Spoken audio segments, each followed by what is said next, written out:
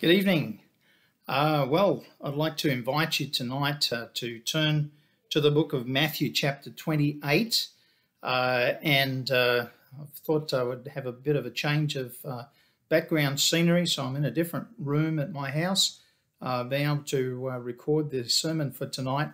And um, we're going to be talking about Easter as a time for discernment, time for discernment. So in the book of Matthew, chapter 28, I'm going to read from verse 1 down to verse 15. It says, In the end of the Sabbath, as it began to dawn toward the first day of the week, came Mary Magdalene and the other Mary to see the sepulchre. And behold, there was a great earthquake, for the angel of the Lord descended from heaven and came and rolled back the stone from the door and sat upon it. His countenance was like lightning and his raiment white as snow. And for fear of him, the keepers, that is, the guard, who were there to protect the body from being stolen, the keepers did shake and became as dead men. And the angel answered and said unto the women, Fear not ye, for I know that ye seek Jesus, which was crucified. He is not here, for he is risen as he said. Come, see the place uh, Come, see the place where the Lord lay, and go quickly and tell his disciples that he is risen from the dead. And behold, he goeth before you into Galilee. There shall you see him. Lo, I have told you. And they departed quickly from the sepulchre with fear and great joy, and did run to bring his disciples word. And as they went to tell his disciples, behold, Jesus met them, saying, All hail. And they came and held him by the feet and worshipped him. Then said Jesus unto them, Be not afraid. Go tell my brethren that they go into Galilee, and there shall they see me. Now, when they were going, behold, some of the watch, that is, the guards, who were sent originally to guard the, the tomb, uh, because there was a rumor that he was uh, that he was going to rise again uh, from the dead, and they thought uh, perhaps uh, that uh, there was going to be some conspiracy afoot uh, to steal his body. It says that, uh, behold, some of the watch came into the city and showed unto the chief priests all the things that were done. And when they were assembled with the elders and had taken counsel, they gave large money unto the soldiers, saying, Say ye, his disciples came by night and stole him away while we slept. And if this come to the governor's ears, we will persuade him and secure you. So they took the money and did as they were taught, and this saying is commonly reported among the Jews until this day. That is the time uh, that Matthew wrote this gospel um, account for us.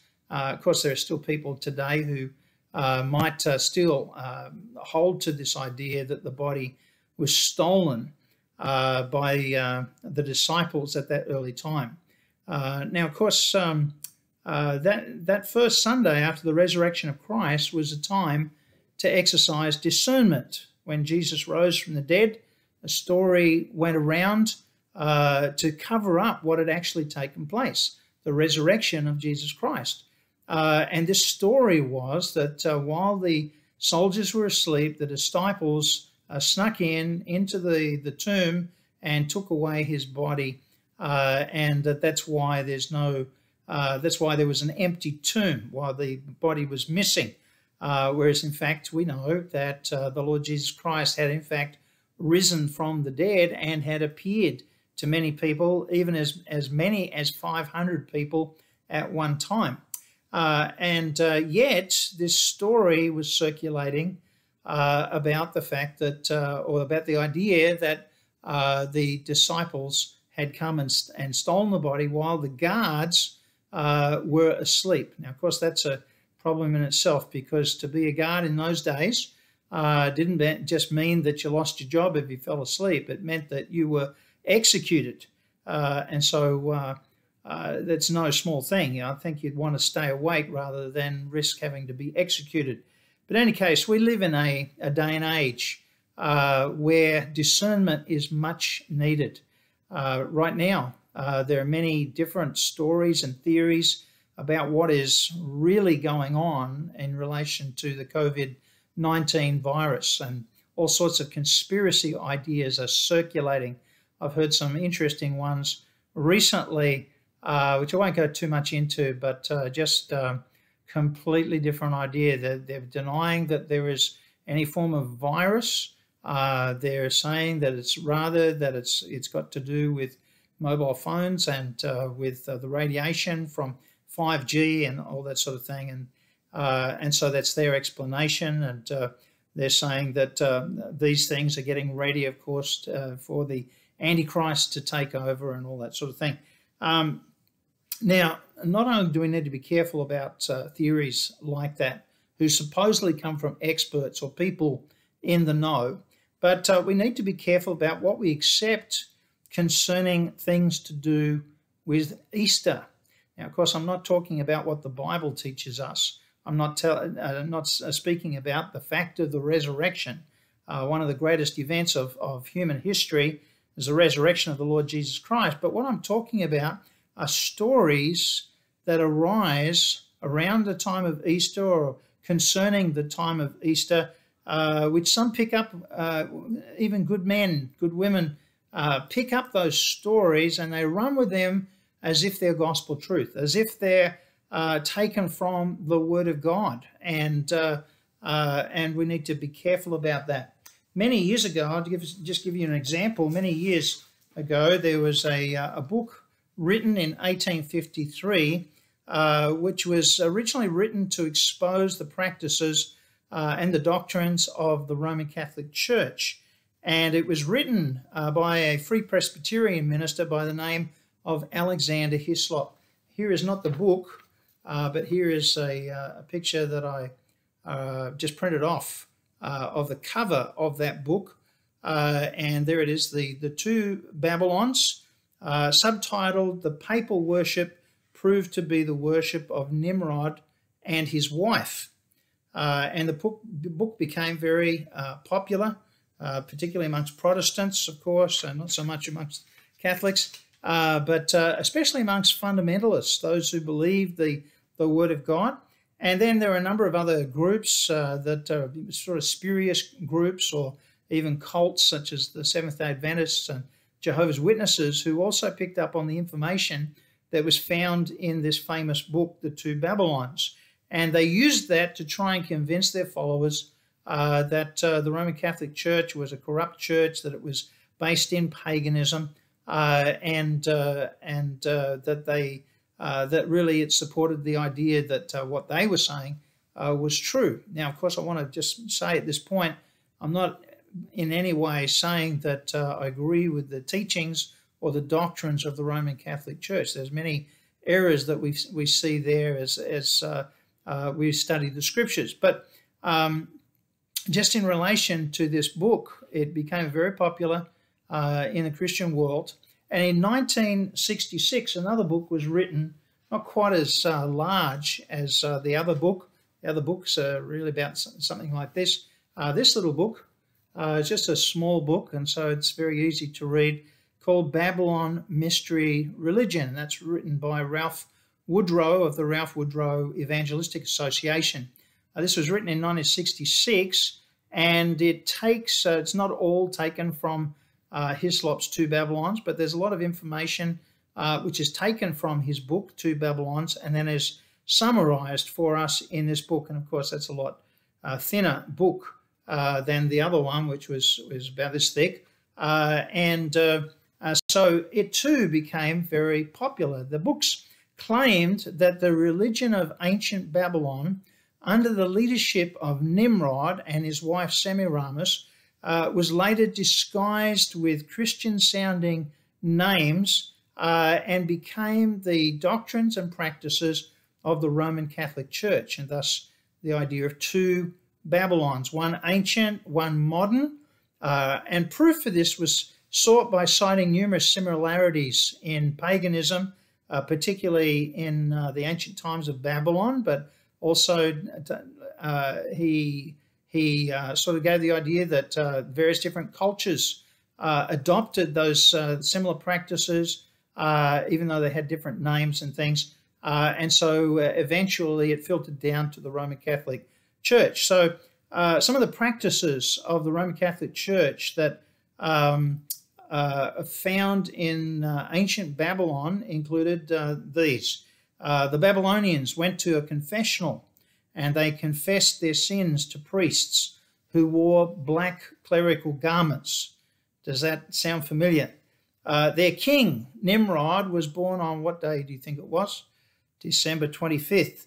Uh, round decorations on fir trees, hung on fir trees, uh, were uh, to celebrate uh, and to honor him as the sun god, along with uh, these wafers that they would put into their mouths in honor of him as a form of worship. again, the round wafers, similar to communion wafers in the in the mass. sun worshippers went to their temples on a weekly basis on Sunday, Sunday, the day of the sun, to worship the sun god.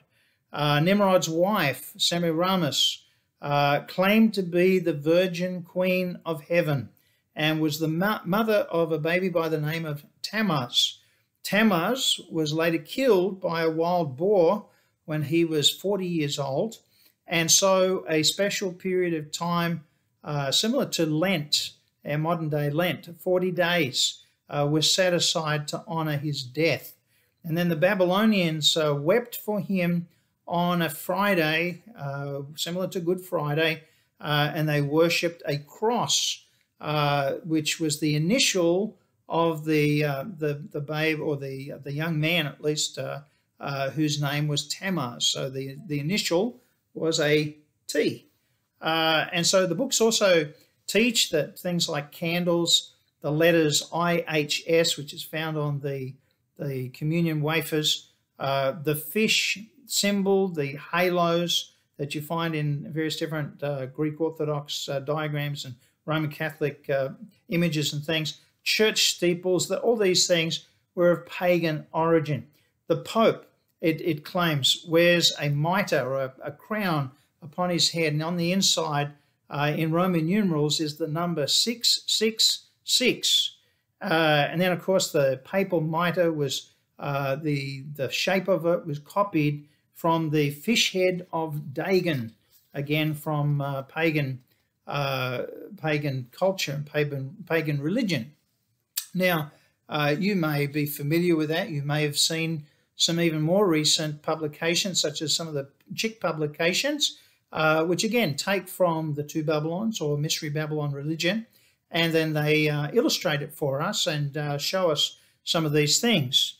However, the author of Babylon Mystery Religion, Ralph Woodrow, was challenged one day to do some deeper research into the historical veracity or truthfulness of the claims of this book, The Two Babylons, and of course his own book as well. And he discovered that all these claims about religion in Babylon are actually all unsubstantiated in history. That's uh, quite an amazing thing. Nimrod and Semiramis, for example, supposedly uh, uh, uh upon whom the whole book uh, is based, uh, they're supposedly they're depicted in his book as being husband and wife. Well, in actual fact, though they are, two historical pictures, two historical figures rather, these two people lived centuries apart, and of course, uh, would not have been able to be uh, husband and wife. The author, Ralph Woodrow, wrote, It's amazing how unsubstantiated teachings like these circulate and are believed. One can go to any library, check any history book about ancient Babylon. none of these things will be found. They are not historically accurate but are based on arbitrary piecing together of bits and pieces of mythology. Hislop, for example, taught that mythological persons like Adonis, uh, Apollo, Bacchus, Cupid, Dagon, Hercules, Janus, Mars, Mithra, Moloch, Orion, Osiris, Pluto, Saturn, Vulcan, and Zoroaster, and many more were all, in fact, Nimrod. He then formed his own history of Nimrod based upon that study, and he did the same thing with Nimrod's wife. Since discovering the errors that uh, Ralph Woodrow's book was propagating, uh, he's since taken his book off the market. And so you can search for it on the internet, uh, find a lot of positive things about the book. But if you actually go to his website, you'll see that he's taken it off and replaced it uh, with a book which goes through and uh, really refutes uh, the the book Two Babylons by Hislop uh, and gives uh, an explanation why he took his book off the market. He wrote, "No church ever included a steeple or tower on their house of worship to copy the Tower of Babel. No Christian who puts a bumper sticker with a fish symbol on the back of his car has ever done so to honor the fish god uh, Dagon. No congregation has ever put a cross on a church building for the purpose of honoring Tammuz. No Christian has ever gone to an Easter sunrise service to worship Baal. No Christian has ever worshipped a Christmas tree as an idol. Uh, and uh, so, uh, claims that imply that all these things started in Babylon, he said, are not only divisive and fruitless, but they are actually untrue. And it's because of books like Hislop's and the earlier uh, book of Woodrow's uh, that he's now taken off the market, and the information that is filtered down into some of the chip, chick publications, that many conservative Christians are opposed now to Easter and likewise Christmas time. Uh, they're uh, they're opposed to to the the celebration of such a time as this uh, as a legitimate time to celebrate the resurrection of Christ. But uh, really, when you look at uh, the uh, the source of information here, it's really an unjustified decision. How many of us have heard that the word Easter, for example, is in itself a pagan uh, term or a pagan concept, and it comes from either the goddess Ishtar or it has its origin with a goddess of the Anglo-Saxons named uh, Ostra. Ostra, the goddess of the dawn, supposedly worshipped in the spring by pagans in Northern Europe and the British Isles. And yet, the scholar who suggested that uh, Ostra, the historian who suggested that Ostra uh, was the origin of Easter, actually admitted that he speculated that the word Easter probably came from an early pagan goddess by that name. And yet, there's not, when you look in the history books, uh, there's not a single reference to her from Anglo Saxon chronicles of history, uh, any of the other writings uh, that we have from, from the period or from inscriptions. There is no depiction, there is no amulets, there is no evidence whatsoever from history or archaeology to back it up. And so uh, we have to conclude, as far as history is concerned, that such a goddess uh, never even existed. Uh, Ishtar, on the other hand, was an Akkadian goddess. Uh, she was never depicted as a mother or a wife, for that matter.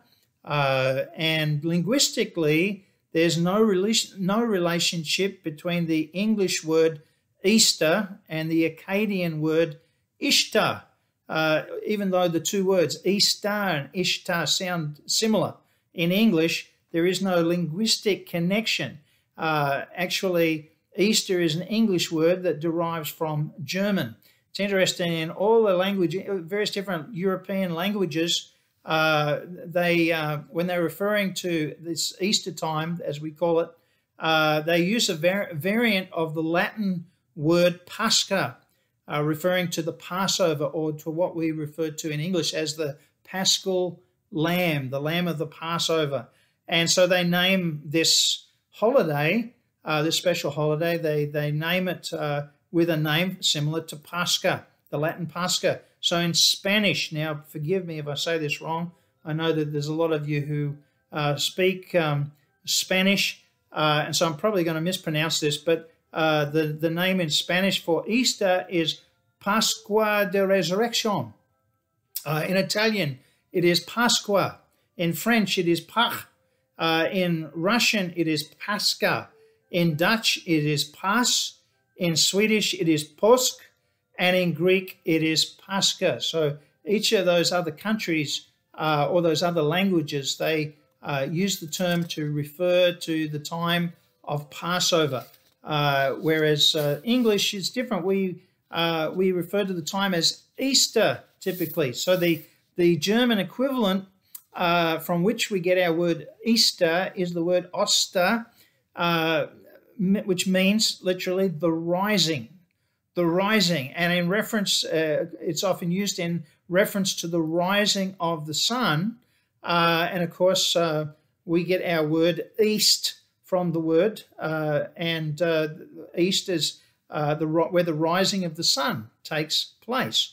Uh, Oster in German comes from an old Teutonic word which means resurrection. And of course, uh, when it comes to the, the rising of the sun each morning, it's as if uh, the sun has died, and then in the west at night, and then in the morning in the dawn, the sun resurrects and rises from its place. And so uh, that idea of resurrection is is uh, is uh, uh referred to the time when the Lord Jesus uh, rose from the dead. In fact, in Acts chapter 12 and verse 4, it says, And when he had apprehended him, he put him in prison and delivered him to four quaternions of soldiers to keep him, intending after Easter to bring him forth to the people. After the time, the Greek word is referring to the Passover or uh, it is also referring to the time that we now know as Easter, the time of the resurrection, the, the remembrance, uh, the uh, annual remembrance of the time of the resurrection of the Lord Jesus Christ. So when we speak of Easter Sunday, we mean Resurrection Sunday.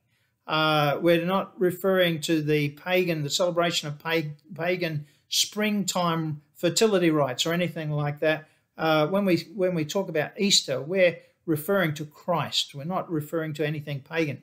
However, if the name we now use to refer to Christ's resurrection was in fact connected to a goddess some 1400 years ago, if they found in uh, some un- unearthed part of history uh, some reference to, uh, you know, Ostra, uh, the uh, the Anglo-Saxon goddess, uh, if they did find that that was the case, it still doesn't bear a connection today to the word Easter, an historical one. You see, words change meaning over time. Uh, an analogy might be drawn to our current calendar system, where we use the term Sunday to refer to the day on which Christ rose from the dead. We worship the Lord, we have church on a Sunday, uh, and yet in having it on a Sunday, there's no hint there that uh, we come to worship the sun, as in S U N. We come to worship the Sun of Righteousness with healing in his wings, as uh, the book of Malachi refers to the Lord Jesus Christ, but we don't worship the, the yellow orb in the sky, the, uh, the, the sun. Uh, we refer to the month of July with no connotation uh, of the emperor for whom the month was originally named, which is Julius Caesar. We don't refrain from using words such as janitor, uh, even though it comes from Janus, the Roman god of doors and gates. We don't refrain from using the word cereal at breakfast time, uh, even though it comes from Ceres, the goddess of grains. We don't refrain from using the word panic, uh, even though it comes from the god Pan, who went about scaring people, uh, according to mythology. Uh, it doesn't, uh, we don't refrain from calling a book of maps an atlas, even though it comes from Atlas, who was in mythology condemned to support or hold up the earth uh, for eternity. You've probably seen uh, pictures of uh, his statue of the man holding up the globe, as it were. Uh, we don't refrain from using the word money, though it's said to come from Juno Moneta, a goddess to whom uh, to, to, whose temple a Roman mint was attached. Uh, we don't refrain from using the word cloth, even though Clotho, a daughter of Jupiter and Themis, was the goddess that spun the thread of life. We do not refrain from using the word flower, even though Flora was originally the goddess of flowers. We do not refrain from using the word ocean, even though Oceanus, son of Uranus, was the god of the sea. Uh, many ordinary terms that we use in day to day life are derived from pagan origins and they don't retain those meanings anymore. meanings change, uh, words change in the course of time. And so it doesn't matter for us as Christians uh, whether we use those words or not. Uh, there's nothing inherently wrong in using those terms. Uh, there's nothing inherently evil uh, with practicing certain traditions of Easter time that have come to us over the years, down through the centuries, uh, such as decorating an egg as a part of celebrating the resurrection of Jesus Christ, or giving chocolate Easter eggs, uh, the symbol of new life, or uh, giving a chocolate Easter bunny, the symbol of spreading the gospel rapidly, the principle of multiplication, as it were. In fact, uh, seeing coloured eggs, uh, and this is an interesting point, the, the, the seeing coloured eggs or chocolate bunnies as evil is actually akin to a pagan worldview where objects have inherent secret meanings. The word occult means hidden or secret. There's a there's a secret knowledge. The Gnostics used to brag about their secret knowledge, and this all this sort of thing uh, where we we uh, we we give uh, these common uh, ordinary practices associated with a Christian holiday. We give them pagan and and uh, um, and wicked meanings. Uh, really is is is like a pagan worldview where they would have these inherent secret meanings, or they would believe that these sorts of things were animated by evil spirits. Ironically, those who label Easter eggs and bunnies as evil are actually reacting in a pagan manner.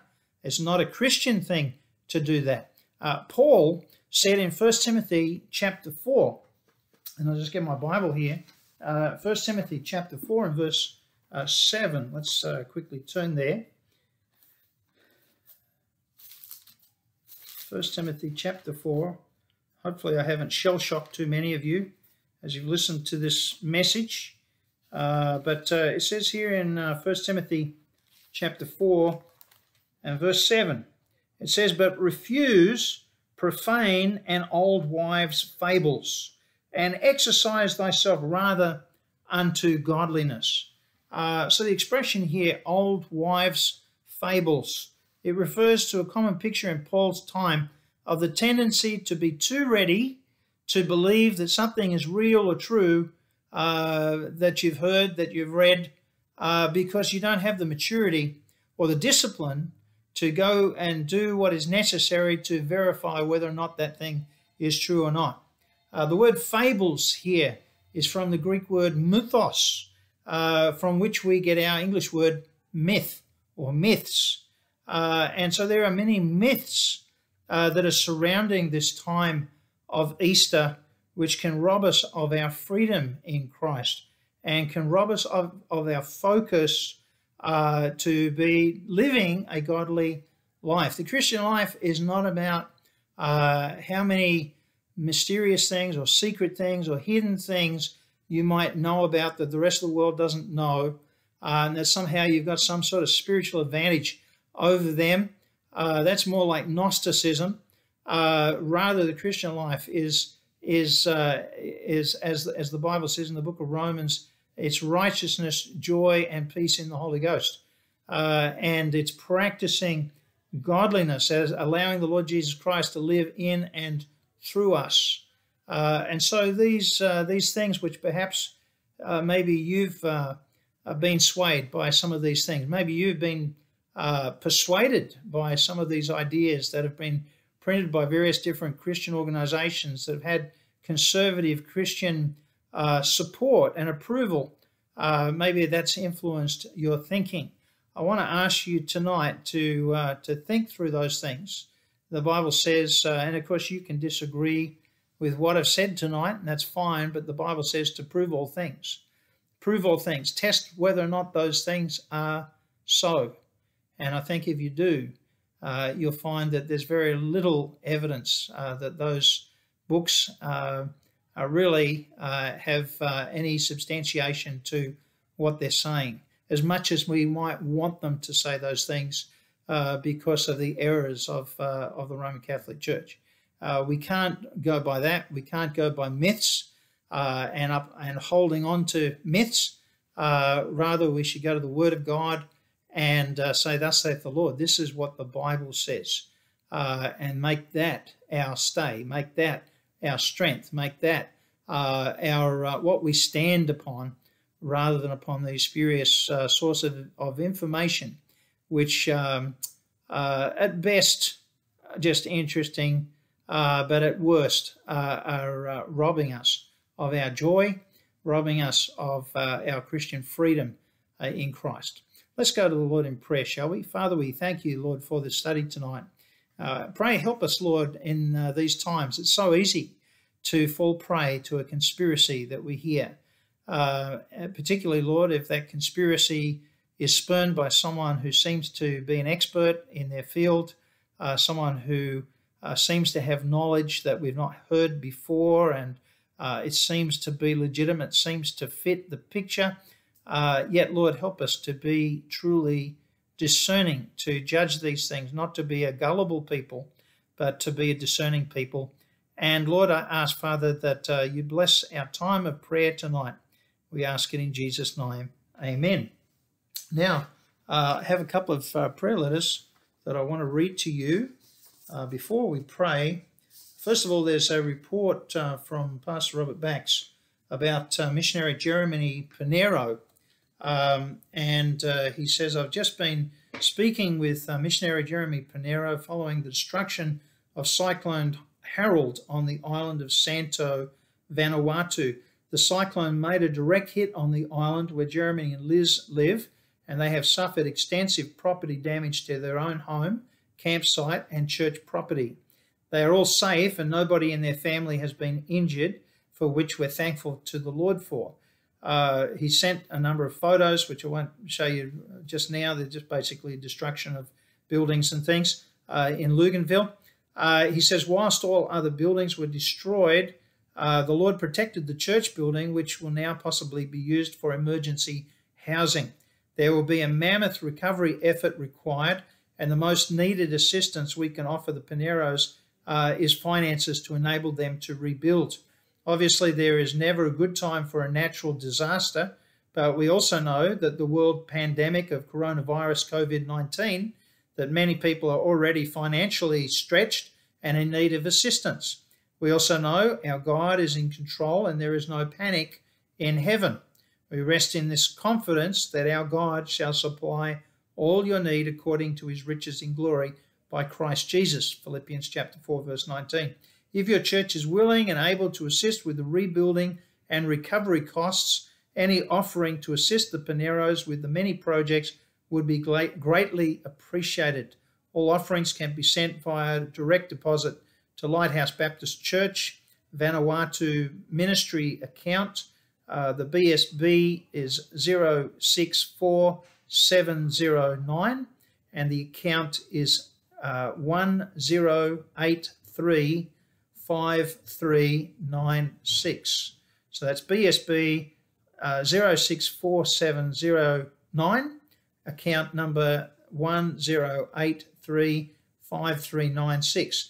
He says as, as more information comes in from Jeremy, we will keep you posted. Please be in prayer for the Pineros as they seek to minister to the church families and people in the community, both in town and up in the jungle. Uh, and so uh, please be praying for the Pineros uh, over there in Vanuatu. And if uh, you are able to uh, to send some support, some support to help them as they seek to rebuild uh, and to help other families there, then please avail you yourself of that. we also have a prayer letter from the Portillo family. there, there they are there. Uh, and it just says, Your missionaries in Nicaragua. Dear pastors and praying friends, firstly, thank you for praying for us over the past few weeks. Uh, God has been faithful, and we have seen spiritual victories in the lives of our church. Pastored uh, a couple through a rough season in their marriage and seen again many souls saved. We have started smaller cell groups during the week and monthly men's, ladies, and teens meetings. We have also had the joy of seeing our faithful members continuing to be soul winners and discipling others.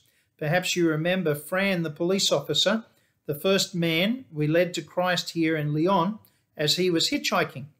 Uh, he and Doris, his wife, have been running one of our routes for church, a bus route that is. Angela has been training Doris to teach a children's class, and she just started as the main teacher last month. Their sincere love for the Lord has been rubbing off on their neighbours, and last year they brought a family to church. The couple, Fabio and Jacqueline, with their two sons, received Christ as Saviour early last year. The Lord began his work in their hearts, and then in March of this year, they were married. Uh, two days later, Sunday morning, they followed the Lord in believers' baptism. We're excited to see how the Lord will keep growing them in their leadership skills. They help in Sunday school, assist with church setup, have completed discipleship, and are continually looking for ways to serve the Lord. Jacqueline has been Angela's soul winning partner and this month graduated to being the one to talk at the doors. Jacqueline has since led four souls to Christ. Looking at the chain of events, we're amazed at the many souls saved and lives changed by the gospel as a result of one man's boldness in bringing his friend to Jesus. On the back of the page, it says, We started Awana in February with around uh, 90 children. We had a great orientation session, half of them with perfect attendance and working hard at their Bible memory, and the others not too far behind. God has been faithful to provide for the needs of this ministry, and we have seen the Lord work in their hearts through salvation and a growing hunger for the Word of God. Please pray the Lord would give us wisdom. We have seen in the news the devastating effects of the COVID 19 all around the world. Please pray for Nicaragua. 50% of our country would be considered high risk due to malnutrition, diabetes, hypertension, age, or obesity. However, very few steps have been made for prevention of this disease, and we're concerned at how fast this could spread. After much prayer and seeking God's will, we have cancelled church for the month of April. Private schools have closed. Most people are wearing masks wherever they travel in town, and people who can afford it have been stocking up on groceries. Yesterday, we prepared 50 sacks of supplies for some of the families in our church to ease their financial burden. Many have lost their jobs, so they have been struggling, uh, really struggling to make ends meet and buy food.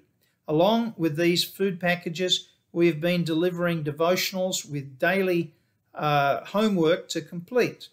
Probably 10% of our church has a smartphone in their home, and even less would have access to the internet. So we wouldn't be able to do the YouTube or Facebook live streaming as many churches are doing. Please pray with us that God will allow us to keep influencing our city for Christ. Pray that He would protect us, keep our hearts warm as a church, and we would continue to see much fruit. Please pray that God would give us insight as to what is occurring in our country with the virus, and God would give us wisdom to have a right balance between zeal and prudence.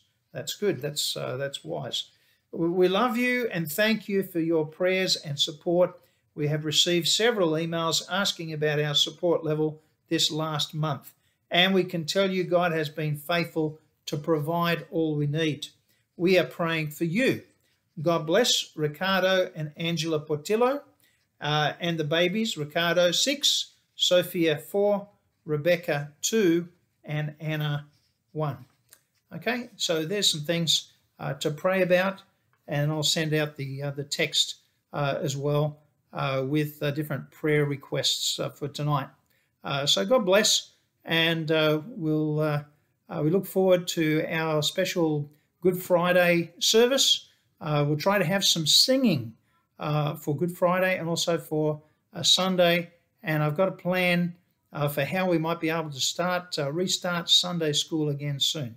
So we thank you uh, for praying and uh, ask that uh, you'd uh, just continue to be faithful, looking to the Lord at this difficult time. goodbye.